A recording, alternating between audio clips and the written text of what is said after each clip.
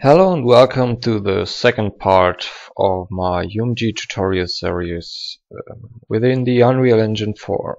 My name is still Wallhalla and last time we set up some references within the player controller class um, which were let's have a look oh I just see there's an error here um, we set up the creation of the widgets, the game HUD, the main menu and the inventory as well as the play character reference. So the next step is I want to write it down right. Um, okay. For now I haven't put any of those widgets to the viewport. That is why I I'm not able to see anything which is of course uh, because I haven't added anything here and I haven't added anything to the HUD via the add viewport call. Okay, this time we want to make um, a progress bar um, which represents the actual health ratio of one character. So first of all the character needs some values which represents its health. Let's go inside it. Oh, I forgot to bam you haven't seen that um, I forgot to delete them um, okay right back um, okay the character will have uh, a variable which is the current health which is not boolean but is an integer for example. Don't need to. Um, and he has a second variable which is the max health. As well as an integer. Um, I set them to private and I will provide a function where you can get um, the ratio from the outside of this blueprint class. So we add a new function and we call it get health ratio. So when we call this, um, it will output us an health ratio which is not integer but float because uh, it is uh, from null to 1 um, so what we do here is simply dividing the current health through the max health value. Please uh, uh make sure that you won't divide through null. Oop. through null. And because we want a value between null and 1 we want to do it we want to do the division with uh, resulting in a float. And so this integer needs to be float as well. But this will be handled by the blueprint system here automatically. So now when we divide current health and max health we will get our current health ratio and this will be the return node. Okay, now we are able to get the current health ratio from out of the character class. Um, next step we will do uh, let's go inside the game art widget and um, I don't care much about the design here. Um, I will use a progress, progress bar. Uh, and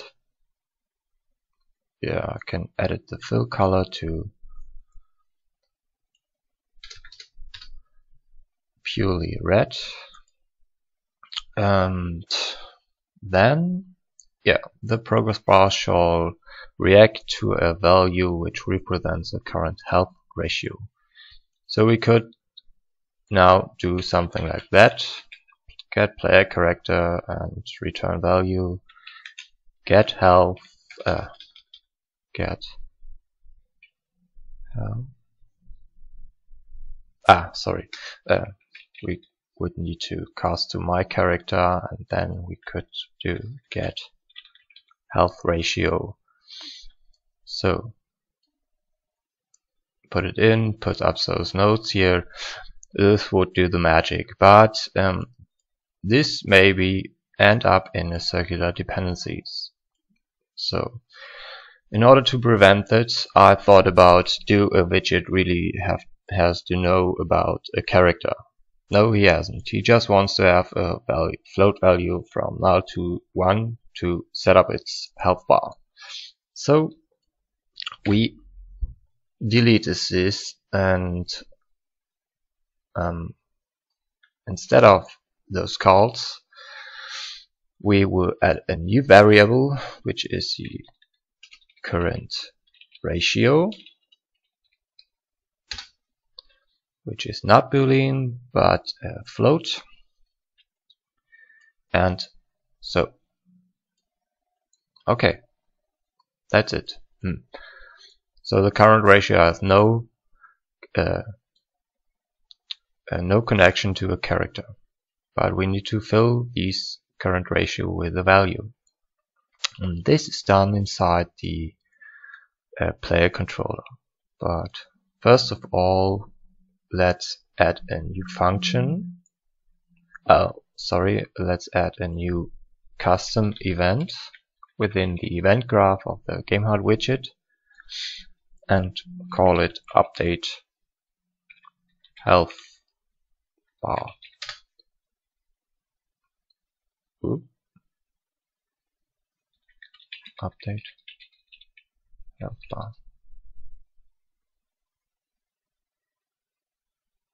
Um,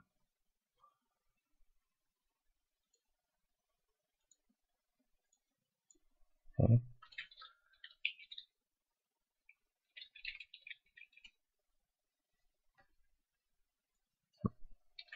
Update health.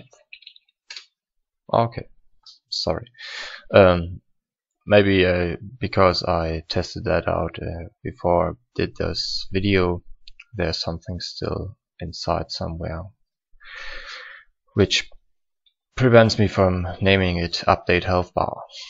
Okay update health bar will get an input which is the current character health ratio. Ooh.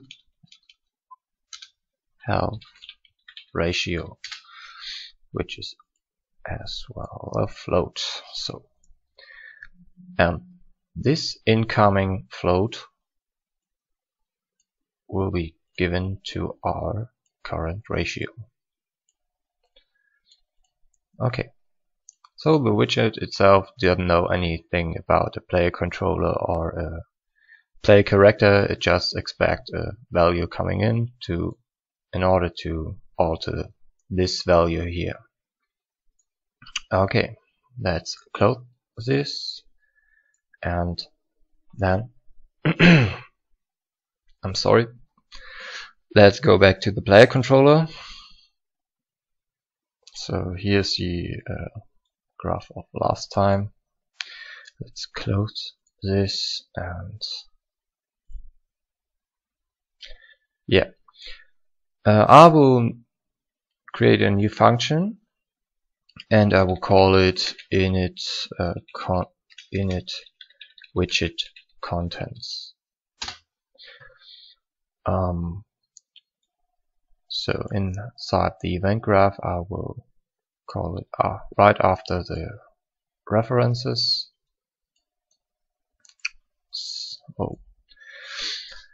Okay, init widget contents.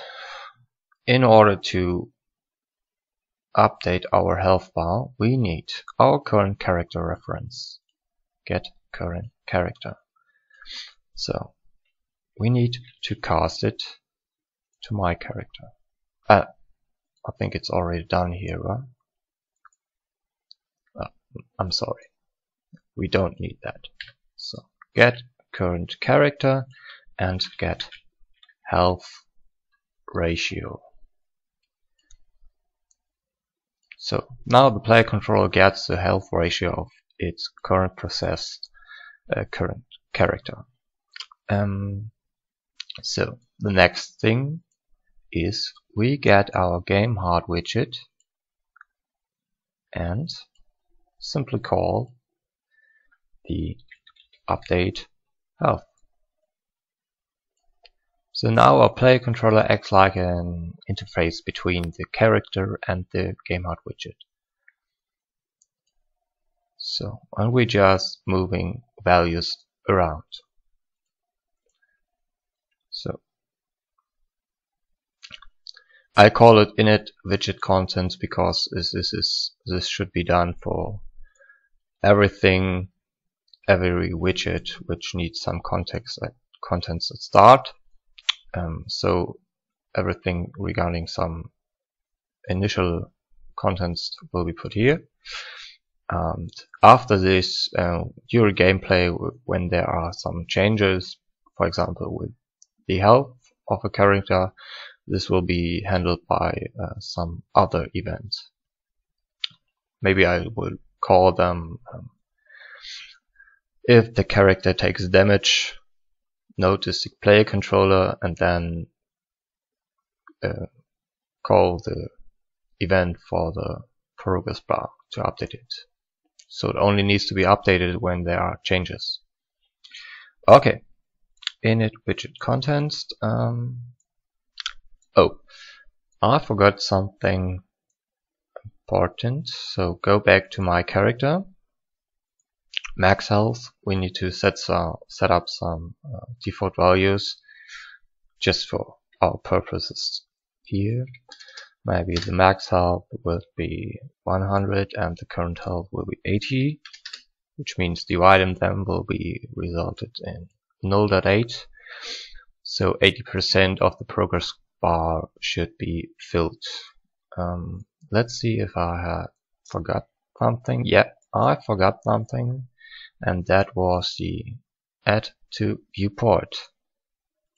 Um, back into the player controller and yeah we could do this in the init widget content and let's say we do it here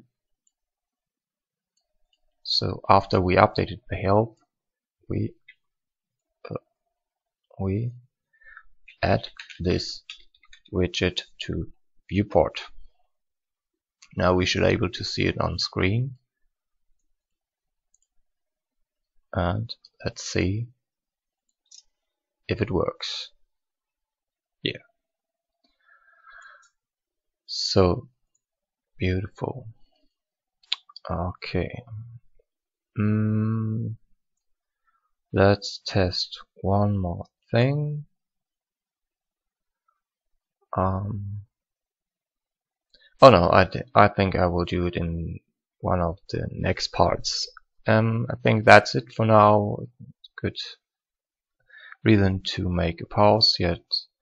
Um, I hope you enjoyed it and it helps you some better for some better understanding.